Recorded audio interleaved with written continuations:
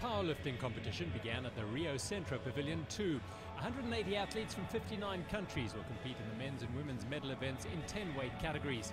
Day one included two finals, the men's up to 49 kilograms and the women's up to 41 kilograms. The big favourite for the men's up to 49 kilogram final was the Vietnamese world record holder Van Cong Le. The first attempt of the day was Paralympic debutant Aliwa Bawa from Togo.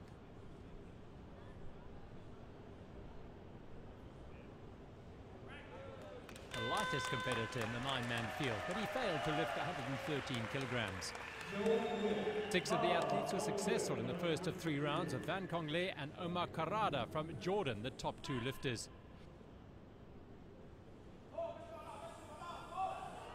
Qarada had a successful lift at 170 kilograms, showing he was up for the battle with the Vietnamese athlete for the gold medal. 170 kilograms was the Paralympic record, but Van Cong Le smashed it in his first attempt, lifting 175 kilos.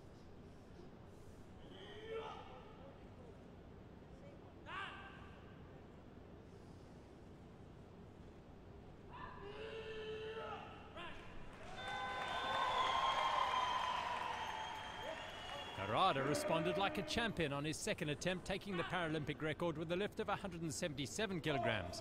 The Vietnamese was unable to lift 179 kilos and had one more attempt to win the gold medal. In the fight for the bronze medal, Hungarian Nandor Tunkel was the best of the remaining athletes as he lifted 155 kilograms in his second attempt.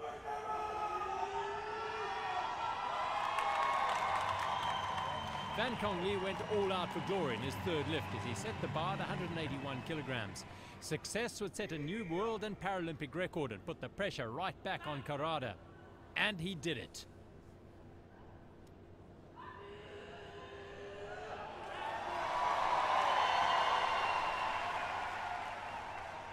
The Jordanian tried to match Van Cong Le's 181 kilograms but failed and had to settle for the silver medal. The favourite for gold delivered on his potential to become Paralympic champion. But he wasn't done. He asked for the bar to be loaded to 183 kilograms. Another spectacular effort as he set another world and Paralympic record.